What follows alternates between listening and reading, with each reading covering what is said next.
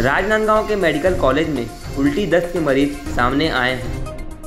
एक ही गाँव के लगभग दर्जन भर मरीज़ पेट दर्द और उल्टी दस्त के शिकार हो गए जिनका मेडिकल कॉलेज में इलाज जारी है। इनमें से एक महिला की हालत गंभीर बताई जा रही है। सभी मरीज़ किरगी गाँव के निवासी हैं। बताया जा रहा है कि सभी मृत्यु भोज के कार्यक्रम में पहुँचे थे और वहाँ भोजन करने के बाद उनकी तबीयत बिगड़ गई।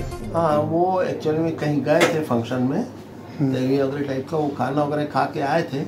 उसके बाद वहाँ गाँव में उनको चालू हो गया था। उल्टी दस्त तो अभी तक मेरे ख्याल से चौदह के आसपास लोग आए हैं, जिसमें एक महिला थोड़ी सी सीरियस है। बाकी तो पेशेंट बिल्कुल ठीक है। गेस्ट्रोएंट्राइटिस टाइप ही था, जो कि ज़्यादा माइल्ड था, उतना था नहीं। और ये एक्चुअली में या तो पुराना खाना खाए होंगे, या एक खाना उसमें से कुछ हो सकता सब्ज़ी भाजी फर्मेंट हो गया हो, या कुछ हुआ हो। लेकिन कारण तो कोई ऐसा था नहीं कि गाँव में एपिडेमिक है, वो तो कहीं और भोज में गए थे, वहाँ से आए थे, तब हुआ उनको। इसको अपन एपिडेमिक नहीं मान सकते फ़ूड पॉइजनिंग टाइप भी हो सकता है।